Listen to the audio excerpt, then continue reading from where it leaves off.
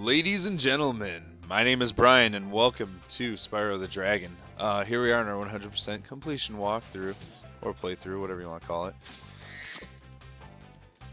Apparently, I don't know why I tried to flame him. Uh, we're going to head down here, though, and take on the boss and complete the flight level for this world. Ooh! Ouch. Can't believe I got hurt by that. Jesus. Burn him.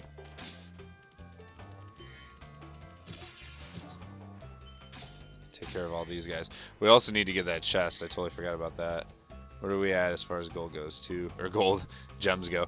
290. Well, let's go ahead and enter Blowhard. We have to go get that chest. I forgot all about that. It's in a little secret area. But it's cool because it's just gonna just gonna give us more time to hang out and talk about Spyro the Dragon. Really cool, really cool game. I love, I love this game. Eventually, I do plan on doing like Crash Bandicoot. I need to get the first Gex out of there too, so I can start doing the Gex trilogy. I like, see, the Gex trilogy is it's cool for what I've played. I've never played the third one. I barely played it. Well, I, I like walked around the hub world a little bit. I think that's like all I did in the third Gex game. But uh, I love the second Gex game. I played the shit out of Gex 2, Enter the Gecko. I 100% completed that all all day long back when I was a kid, like 99, I don't know, 98, whenever that game came out. Was tits. I loved it. That, Spyro the Dragon, and Crash Bandicoot. Those were my three PlayStation platformers, big ones. I played a little bit of Croc, too, as well, so... Alright, so this is the boss, Blowhard. You just gotta flame him three times. Pretty easy. Just gotta kind of... Just gotta kind of dodge him. Uh, this is where, like the first one where you actually kind of, I guess, chase the boss through the whole level. Or actually, this might be the only one. I do I do like this one because of that, though. I think it's really cool. Oh, no, it's not the only one. Next boss, you do pretty much the same thing, but it's a really cool concept. I don't know. I like that they did this. You chase the boss through the level as you fight him. Let's rescue this dragon. Thanks for releasing me, Spyro. You have no idea how long I've been trapped in. No problem, old dude. And uh, neither do I. Who are you again? Um, I'm out of here. I'm out of here. Zing! Alright. Land on this platform. Right to him. Ugh. Yeah, if you fall down there, I think you automatically die. So be aware of that. And right to you. Boom.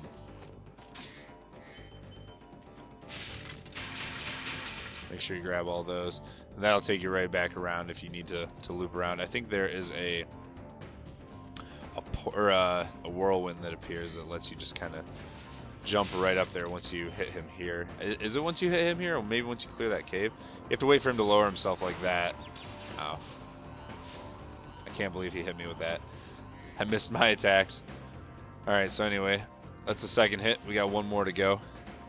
Very easy boss fight. By no means is this a difficult boss fight.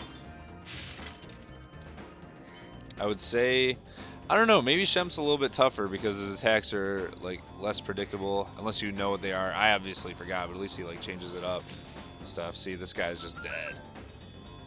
Dead. I don't know. Anyway, what are we? Too shy? I think we are. I don't know. Maybe not. Or five. Missing five. Okay, that's cool. I always seem to be missing one. I don't. I don't see where I went wrong here. Maybe. uh... Maybe it's... Here, let's try this. Gonna have to glide to get back.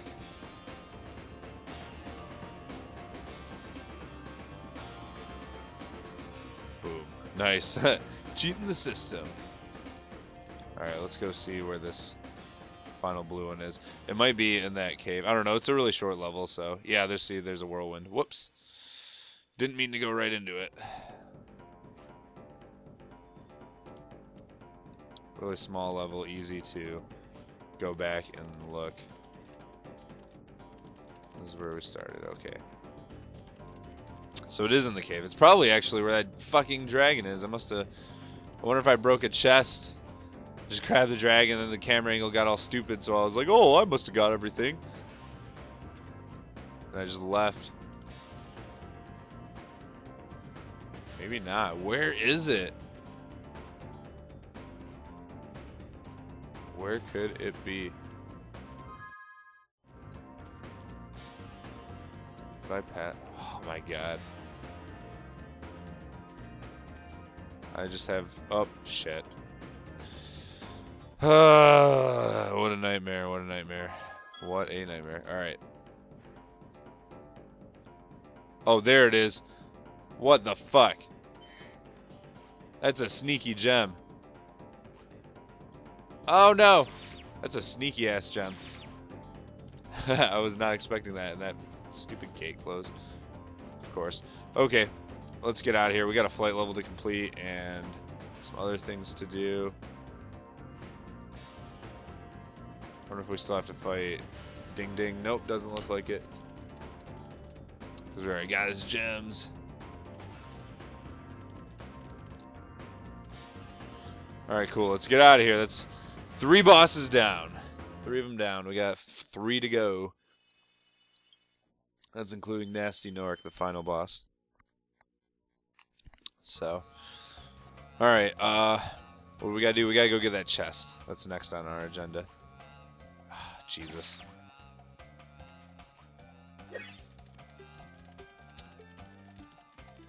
Right, hopefully, one of these guys will give me a dragonfly of some sort.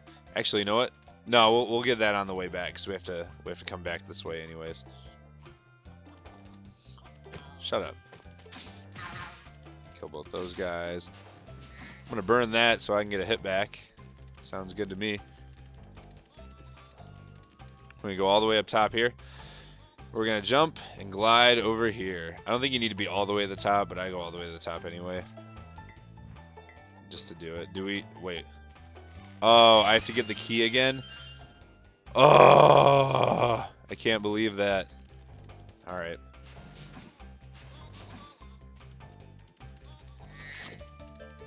All right, I don't even care about that extra hit. I cannot believe that. What was the point of getting the key then? Insomniac, can't even save. Can't even save my file for. Jesus. For fucking 15 minutes, 5 minutes, whatever it was. So apparently, if you didn't get the chest, you have to re-grab the key once you e exit a level. I can't even see what's going on. I'm just like, ah, I'm just flying blindly. Alright. Okay, let's get it this time. Holy shit.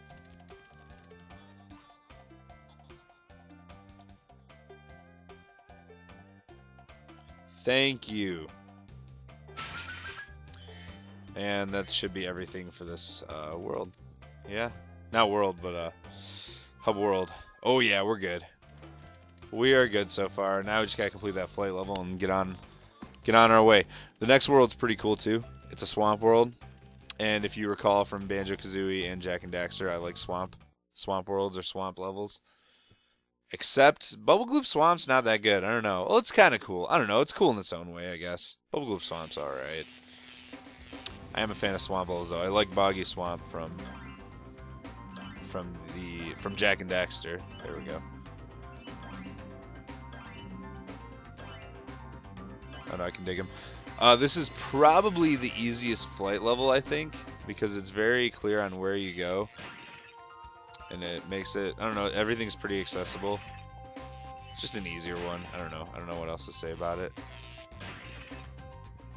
Like directly, like directs you, it directs you into everything very easily and you know where you're going. Even though you do get low on time. Whoa. Alright. Get all the arches. Oh, jeez.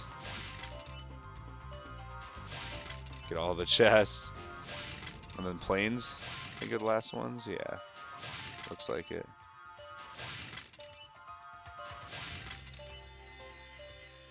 Go ahead and... Oh, God. Wow. Oh, I think I got it. Alright, let's try this again. Let's do this again. Let's only give you one second. To be fair, they are just laid out right in front of you and they're easy. I think we have to start on the arches and then maybe like go back. Cut ties with the arches once we see the pilots and start shooting down the pilots and then, or the planes, and then grab the arches or the rest of them and start doing the chests, all that good stuff. there he is, I saw him.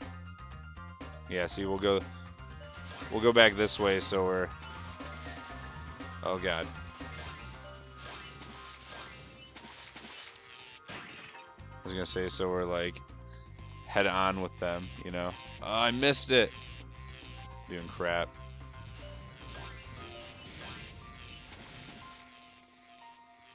Alright, that's the last plane. Got it, yes.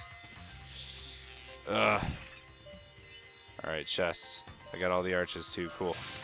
Alright, we're looking good. As long as these chests can give me enough time and they aren't too spaced out, we should be alright. It's looking like we're in the clear. Oh yeah. Perfect. Got in the second try. I'll take it. I'll take it. It got a little iffy there for a minute, but I'll take it. Got a little weird. Minute 17 seconds. Oh boy.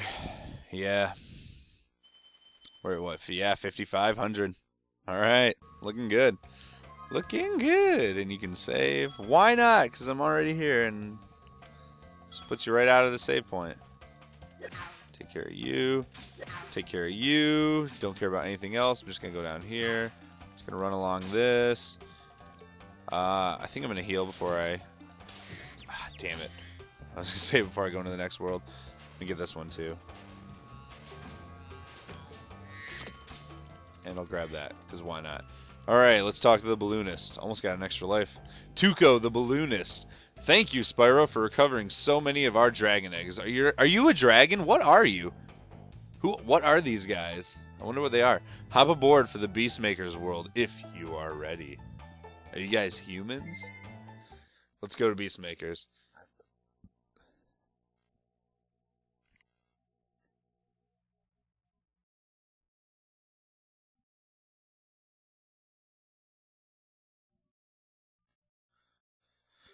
Okay, here we are at the Beastmaker's World, and I think I'm going to go ahead and end the episode here. So, thank you guys for watching. Don't forget to like, comment, and subscribe.